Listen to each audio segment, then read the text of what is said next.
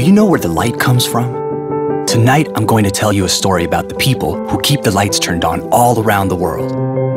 One of the most important things in our lives is electricity. It's invisible, but it heats our home, lights your school, and powers the train that takes your parents to work every day.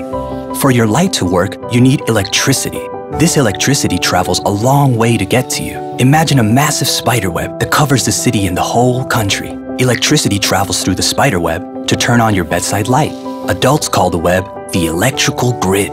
It's the biggest machine ever built. It's what connects and powers all the other machines.